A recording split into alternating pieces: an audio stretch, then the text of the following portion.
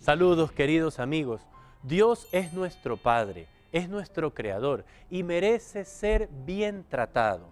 A veces nos olvidamos de Él.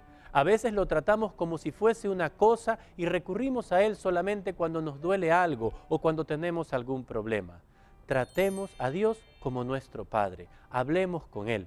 Visitémoslo en la iglesia y procuremos siempre agradecer todo el bien que nos da.